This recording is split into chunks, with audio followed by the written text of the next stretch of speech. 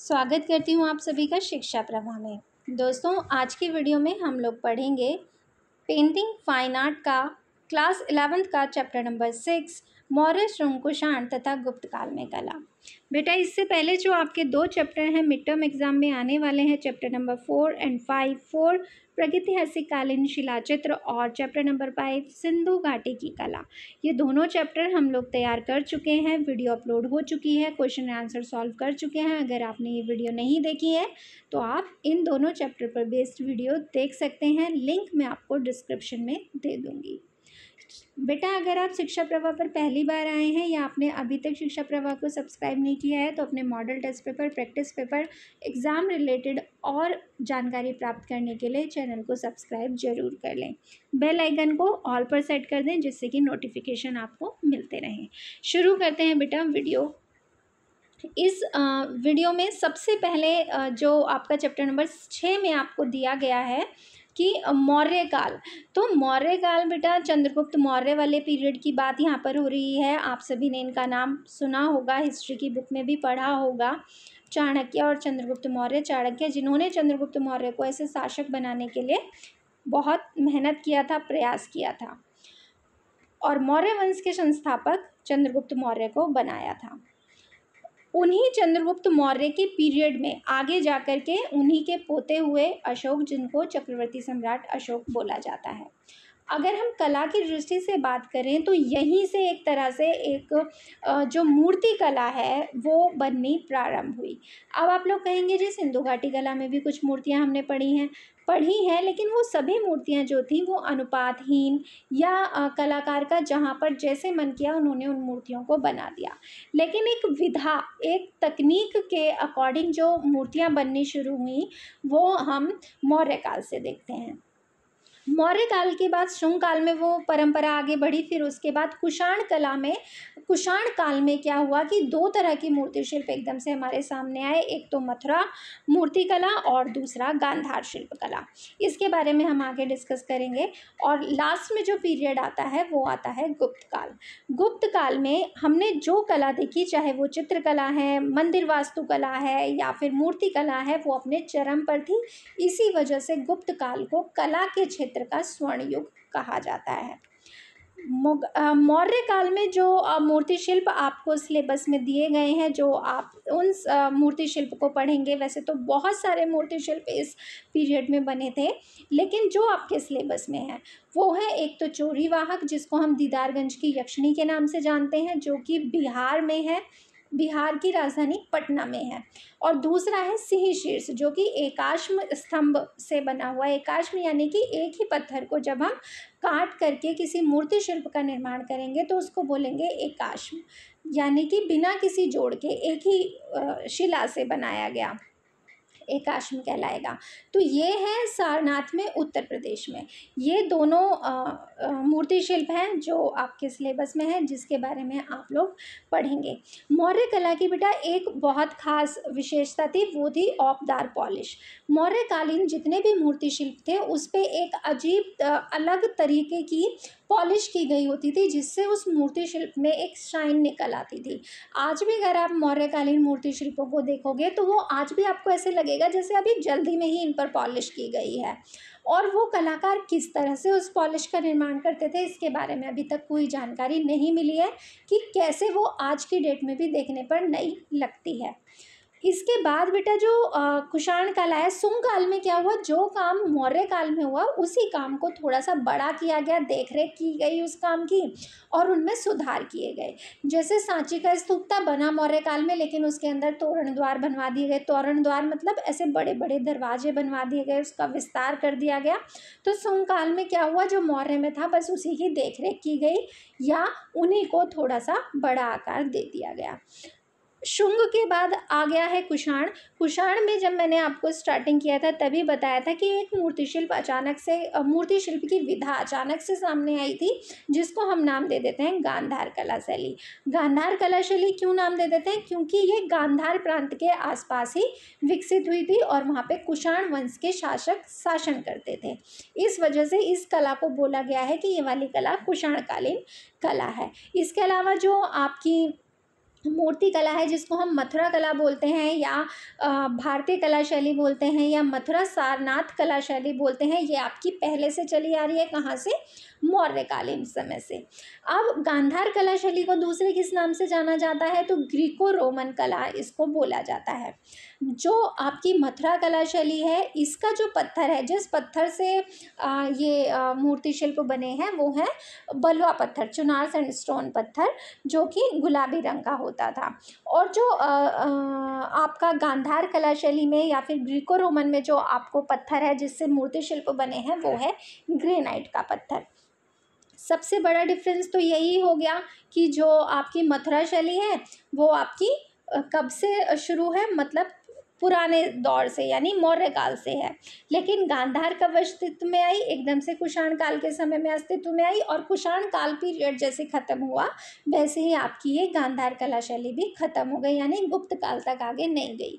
पहला डिफरेंस ये हो जाता है। दूसरा हो जाता है, मथुरा कला में पत्थर था आपका, लाल बलवा पत्थर, और यहाँ पर गांधार कला शैली में जो पत्थर यूज़ हुआ है, वो ग्रेनाइट पत्थर हो जाता है। तीसरा जो मथुरा कला शैली थी बेटा, इसको हम पूरी तरह से भारतीय बोल सकते हैं, यानी इसके अंदर किसी भी कला का कोई भी समावेश नहीं हुआ है। लेकिन जो गांधार कला शैली है, वहाँ पर जो मूर्ति शिल्प बने हैं, उनमें थोड़ा थोड़ा ग्रीक और रोमन प्रभाव है। इसीलिए इसको ग्रीक और रोमन कला भी बोला जाता है। तीसरा डिफरेंस आप ये दिखा सकते हैं। चौथा, गांधार कला शैली में बेटा क्या है कि जो मूर्ति शिल्प बने हैं, वो सिर्फ़ और सिर्फ़ भगवान बुद्ध पर आधारित बने हैं। और मथुरा कला शैली में जो मूर्ति शिल्प बने हैं, वो सभी धर्मों पर, यानी वो बौद्ध धर्म पर भी हैं, जैन धर्म पर भी हैं और हिंदू धर्म पर भी हैं और इसके अलावा खिलौने भी, खिलौनों की आकृतियाँ भी मथुरा कला शैली में बनी हैं। तो ये थे कुछ इम्पोर्टेंट डिफरेंसेस किस किसमें गांधार कला शैली में और मथुरा कला शैली में। ये बहुत ज़्यादा इंपॉर्टेंट क्वेश्चन है, इसलिए मैंने इसको इतना टाइम दिया है। उम्मीद है कि ये क्वेश्चन आपसे एग्ज़ाम में पूछा जा सकता है। इसके बाद आप लोगों का जो सिलेबस में आ, आ, कुछ मूर्ति शिल्प दिखाए गए हैं जिसमें कि आप अंतर कर सकते हो गांधार कला शैली के मूर्ति शिल्प में और मथुरा कला शैली के मूर्ति शिल्प में। तो मथुरा कला में ये जो रेड कलर में थोड़ा थोड़ा सा मूर्ति शिल्प आपको दिख रहा है, ये मथुरा कला का है और ये जो दो मूर्ति शिल्प आपको दिख रहे हैं, ये गांधार कला शैली के हैं। तो अगर आप दोनों मूर्ति शिल्प, गांधार कला शैली के मूर्ति शिल्प को देखोगे तो इस मूर्ति शिल्प में आपको दिख जाएगा कि उन्होंने जो ड्रेस पहनी हुई है, उस पर जो सलवटे हैं, वो थोड़ा सा ग्रीक है। जैसे कि ग्रीक लोग अपने देवता, अपोलो की, सूर्य देवता की ऐसे मूर्तिशिल्प बनाते थे वो प्रभाव आपको दिख जाएगा। जबकि जो मूर्तिशिल्प आप यहाँ पर मथुरा वाला देखेंगे जो कि रेड यानी गुलाबी पत्थर से बना हुआ है तो उसके अंदर आपको बहुत ही मतलब आत्मिक भाव के दर्शन होंगे और कहीं से भी किसी दूसरी कला का आ, कला की परछाई आपको इस मूर्तिशिल्प में देखने के लिए नहीं मिलेगी। इसके बाद हम लोग पढ़ने जा रहे हैं। आपके सिलेबस में दिया गया मूर्ति शिल्प सिंह शीर्ष सिंही शीर्ष को आप देख लेंगे तो देखिए, क्योंकि ये सिंही शीर्ष मौर्यकालीन मूर्ति शिल्प है और मौर्यकालीन एक तरह से पूरी तरह से भारतीय कला थी। तो पत्थर कौन सा है? चुनार सैंडस्टोन पत्थर है, गुलाबी रंग का पत्थर है। ये सिंही शीर्ष वही है जो आपको एक रुपये के सिक्के पर भी देखने मिल जाता है। तो मौर्य काल में सम्राट अशोक ने बहुत सारे स्तंभ बनवाए थे और उन स्तंभ की चौकियों पर कुछ कुछ मूर्ति शिल्पों को उसने बनवाया था। तो सारनाथ का जो स्तंभ था, उस स्तंभ के शीर्ष पर इसको रखा गया था। और जो आप नीचे यहाँ पर आपको ये दिख रहा है, ये चौकी उल्टे कमल के आकार की, ये उस किसके ऊपर थी? एक स्तंभ के ऊपर थी। ठीक है, उस स्तंभ के ऊपर ये चौकी है और वहाँ पर ये चार सिंहों को अंकित किया गया है। चार सिंह जो हैं, वो चारों दिशाओं में उन चारों सिंह का फेस दिखाया गया है। और ये आप ध्यान से इस मूर्ति को अगर देखेंगे तो आपको दिखेगा, ये जो इनका फेस है, वो चारों दिशाओं की तरफ़ है और इनके पैर के नीचे, यानी चारों दिशाओं में जो शेर है, उनके पैर के नीचे चौबीस तीलियों वाला एक चक्र बनाया गया है, जो कि दिन के चौबीस घंटों को दिखाता है। और जब चारों दिशा में चार से हैं तो चार दिशा में चार चक्र हो गए और उन चक्रों के बीच में जिन पशुओं को दिखाया गया है, वो हैं शेर हाथी घोड़ा और बैल। तो ये चार पशु हैं जो जो कि गति में और ताकत में आ, मतलब काफ़ी महत्व है संस्कृति में हमारी संस्कृति में सिंह का भी घोड़े का भी बैल का भी और हाथी का भी।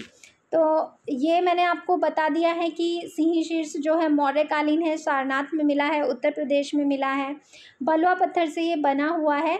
इसका समय जो है वो ईसा पूर्व तीसरी शताब्दी है, ठीक है? यानी सम्राट अशोक का जो समय था वो यही था तो इस समय ये बना हुआ है। वर्तमान में अगर बेटा आप इसको देखना चाहते हैं तो ये सारनाथ संग्रहालय उत्तर प्रदेश में सुरक्षित है।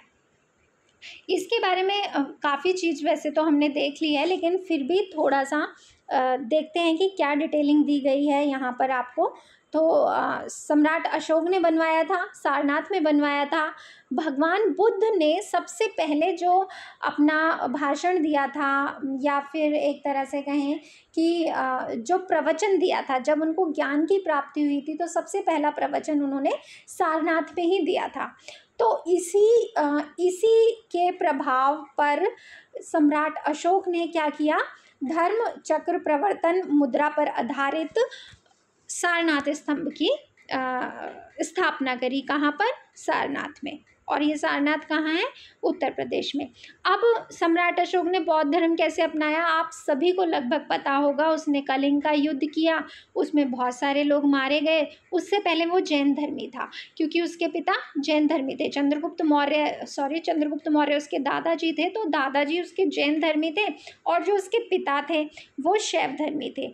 लेकिन सम्राट अशोक ने बौद्ध धर्म को अपनाया कलिंग में युद्ध के पश्चात उसको लगा कि हाँ अब मुझे अहिंसा का रास्ता अपना लेना चाहिए। और उसी के प्रभाव में पढ़कर उसने फिर जगह जगह पर बौद्ध धर्म का प्रचार किया, बहुत सी बौद्ध इमारतों का निर्माण किया, जिसमें कि एक ये स्तंभ भी है।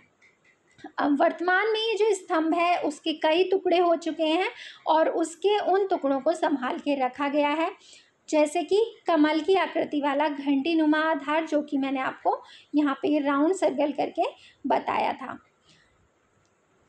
घंटीनुमा आधार के ऊपर गोल चक्र जिस पर शक्ति व साहस से भरे हुए चार पशु हैं, हाथी, बैल, सिंह और घोड़ा, और घड़ी की सुइयों के अनुरूप दौड़ते हुए इनको दिखाया, यानी कि क्लॉक वाइज डायरेक्शन में इनको दिखाया गया है। चौबीस तीलियों वाला धर्म चक्र एक बना हुआ है, जो कि दिन के चौबीस घंटों को दिखाता है। जो चार सिंह जो है, वो चारों दिशाओं में मुँह करके बैठे हुए हैं, रोबीला अंदाज है उनका, और उनकी पीठ आपस में सटी हुई है। और ये चौबीस तिरियों वाला जो धर्म चक्र है वो सारनाथ संग्रहालय में इन दिनों रखा हुआ है। वहाँ पर आप जा कर के इस स्तंभ को आ, मतलब देख सकते हैं। इसके अलावा इसमें इस चिन्ह का हम प्रयोग जो है वो राष्ट्रीय चिन्ह के तौर पे भी करते हैं। इससे ज़्यादा इसके बारे में डिटेलिंग देने की आपको ज़रूरत नहीं है। एक जो क्वेश्चन आएगा उसमें आप इतना कुछ लिख सकते हैं। जो सेकंड मूर्ति शिल्प है आपका चूड़ी वाहक अथवा यक्षिणी बोला जा सकता है, उसको दीदारगंज यक्षी भी बोलते हैं इसको।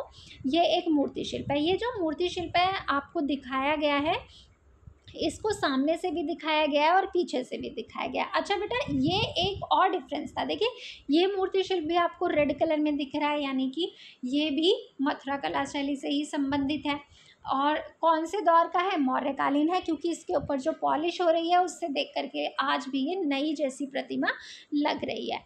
तो अब इस मूर्ति शिल्प को आगे और पीछे से बुक में दिखाने का सीधा सीधा सा मतलब ये है कि ये जो मूर्ति है, इसको चारों तरफ़ से तराशा गया है। लेकिन गांधार शैली के जो मूर्ति शिल्प होते थे, उनको सिर्फ़ आगे से मतलब आगे से तीन बाय चार हिस्सा। अगर किसी मूर्ति शिल्प को चार हिस्सों में बांटा जाए तो तीन बाय चार हिस्से पर ही उसको मतलब तराशा जाता था और पीछे का एक बटा चार हिस्सा जो था, उसको बिना तराशे ही छोड़ दिया जाता था। ये अंतर भी था मथुरा कला शैली में और गांधार कला शैली में। मूर्ति शिल्प को अगर हम देख रहे हैं तो एक महिला का मूर्ति शिल्प है जिसके ऊपरी शरीर पर उसने वस्त्र धारण नहीं किए हैं, लेकिन शरीर के निचले भाग पर उसने एक धोती बांधी हुई है, जिसमें कि बहुत पलटदार हैं, कमर पे करधरनी भी उसने बांधी हुई है, गले में दो मोतियों के हार हैं और जो उसका सीधा हाथ है उसमें एक चवर उसने पकड़ा हुआ है, एक तरह से वो जैसे कोई राजा होता था तो उसके पास ऐसे चवर हिलाना जिससे कि मक्खी वगैरह उसके पास ना बैठे तो वो चंवर उसके हाथ में है और जो उसका उल्टा हाथ है वो खंडित है। जो इसका चेहरा है वो बालों पर इसने ऐसे जूड़ा बांधा हुआ है पीछे की तरफ़ अगर हम देखते हैं और आगे माथे पर घूमर लटका हुआ है। चेहरे पर अगर हम देखते हैं, जैसे कि ये एक नग्न मूर्ति है, शरीर के ऊपरी हिस्से पर वस्त्र नहीं है, लेकिन चेहरे से देखने पर कहीं पर भी अश्लीलता हमको नज़र नहीं आती। उसका मुख्य कारण ये है कि भारत में जो भी मूर्ति, शिल्प या चित्र इस तरह के बनाए जाते थे तो उसमें महिला को जो है माँ की नज़र से देखा जाता था तो उसके चेहरे पर मातृत्व के भाव, कलाकार अपने आप ही चित्रित कर दिया करता था। जबकि अगर हम ग्रीक या योमन में यूरोप में जा कर के देखेंगे, वहाँ पर जो मूर्ति शिल्प या चित्र बने हैं, वो भी नग्न अवस्था में बने हुए हैं, लेकिन उनको देखने में वासना हमको दिखती है। और ये चीज़ का अभाव रहता है हमारे भारतीय चित्रों में। इस चित्र के बारे में, मूर्ति शिल्प के बारे में मैं जगह जगह मूर्ति शिल्प को चित्र बोल रही हूँ तो उसको आप थोड़ा सा कंफ्यूज ना हो। तो इस मूर्ति शिल्प के बारे में हम थोड़ा सा देखेंगे। तो ये दीदारगंज में है और पटना बिहार। तो जो इसका राज्य है वो है बिहार। बिहार की राजधानी पटना। पटना में एक मोहल्ला है दीदारगंज, जहाँ पर यह मूर्ति शिल्प मिला है। बलुआ पत्थर से बना हुआ है, तीसरी शताब्दी ईसा पूर्व का है और वर्तमान में ये पटना संग्रहालय में रखा हुआ है। पटना संग्रहालय बिहार में है। इस मूर्ति शिल्प के बारे में जो हमने देखा, उसको एक्सप्लेन कर दिया, लेकिन लिखा हुआ क्या है, उसको भी हम देख लेते हैं। तो ये आदम कद, यानी कि जितने बड़े हम लोग हैं, लगभग उतनी बड़ी। इसका आकार की अगर बात की जाए तो पाँच फुट छः इंच तो ये चौकी के बिना है, और चौकी के साथ इसकी हाइट हो जाती है पाँच फुट आठ इंच। तो ये आदम कद चोरी वाहक यक्षिणी की मूर्ति है। सीधे हाथ में उसने चोरी को पकड़ा हुआ है, जिसको चंवर भी बोल देते हैं, जो कि कंधे के ऊपर है। बायां हाथ इसका खंडित है। एक सुंदर युवा, लंबे कद वाली, सुसज्जित स्त्री है, जिसको अधनग्न अवस्था में बनाया गया है। बक्षों को उभार दे करके बनाया गया है और स्त्री योचित श्रृंगार मतलब जिस तरह से स्त्री अपना श्रृंगार करती है, उस तरह का श्रृंगार इस मूर्ति शिल्प का किया गया है। इसने बालों में, मस्तक में, काने पे, कान पर, गले में, कमर में आभूषण पहने हुए हैं। कमर के निचले हिस्से में वस्त्र पहने हुए हैं। चेहरे को पर्याप्त गोलाई दी गई है। अच्छे, तीखे नए नक्श इस मूर्ति शिल्प में बनाए गए हैं और जो पॉलिश, जो कि मौर्यकालीन मूर्ति शिल्पों की विशेषता थी, उस पॉलिश को करके इस मूर्ति शिल्प पर चमक उत्पन्न की गई है। तो ये था बेटा आपका सेकंड मूर्ति शिल्प, चोरीवाहक या दीदारगंज यक्षी। इसके अलावा बेटा एक जो मूर्ति शिल्प यहाँ पर आप देख रहे हैं, ये देखिए। इसका नाम है बोधिसत्व शीर्ष या बुद्ध शीर्ष। ये वाला जो मूर्ति शिल्प है, अगर आप इस मूर्ति शिल्प को ध्यान से देखेंगे तो इसका जो बाल हैं, घुंघराले हैं, जूड़ा बंधा हुआ है, आँखें अध खुली हैं, जो इसका सीधा कान है, वो खंडित है और गर्दन से नीचे का जो हिस्सा है इसका वो खंडित है। इस मूर्ति शिल्प का जो पत्थर है वो लाल नहीं है, ग्रे कलर का है और कहीं पर भी चेहरे के अंदर कोई भाव नज़र नहीं आ रहे, ठीक है? तो भाव रहित है। भाव रहित है और ग्रे कलर का पत्थर है। इससे हम क्या समझते हैं कि ये जो मूर्ति शिल्प है वो गांधार कला शैली का है, ठीक है? गांधार कला शैली किसके समय पे थी? कुषाण के समय पे थी। तो मतलब ये कुषाण कालीन कला है और गांधार कला शैली का है और ग्रेनाइट पत्थर से बना हुआ है, जो कि ग्रे रंग का है। कुषाण काल का जो समय है, वो ईशा पूर्व दूसरी शताब्दी है। कहाँ पर ये शीर्ष मिला है? तो तक्षशिला पाकिस्तान में मिला है और आज की डेट में हम इसको राष्ट्र संग्रहालय नई दिल्ली में देख सकते हैं। इस चित्र के बारे में अगर हम बात करें तो गांधार शैली में बने बोधिसत्व शीर्ष को तक्षशिला पाकिस्तान से प्राप्त किया गया था। कुषाण काल से संबंधित यह शीर्ष आकृति ईशा की दूसरी शताब्दी की है और इसको हम भारतीय ग्रीको रोमन या फिर हेलेनिस्टिक या ग्रीको हेलेनिक नाम से भी जानते हैं। ये सारे के सारे जो नाम हैं, वो गांधार कला शैली के नाम हैं। घुंघराले बाल बनाए गए हैं। मोटी घुमावदार रेखाओं से। होठों की बनावट आँखों के घेरे व उभार आँखें जो हैं इनकी आधी बंद हैं। पहले बनी मूर्तियों की तुलना में गालों की गोलाई थोड़ी कम है, लयात्मकता का एहसास है। और कहीं ना कहीं मेरी नज़रों में अगर डॉक्टर आनंद कुमार स्वामी ने भी गांधार शैली में बने हुए मूर्ति शिल्पों को आत्मरहित पुतले कहा था, यानी कि आत्मरहित पुतले जिसके अंदर भाव नहीं है। चित्र और मूर्ति की जो आत्मा होती है, वो भाव होते हैं। और अगर किसी आकृति में, कृति में भाव अगर नहीं है तो उसको कहा जाता है कि ये बेजान है। तो इसी कारण से इस चीज़ को आत्मरहित पुतले कहा था डॉक्टर आनंद कुमार स्वामी ने। इसके अलावा बेटा, आपके सिलेबस में एक और मूर्ति शिल्प है, ये देखिए।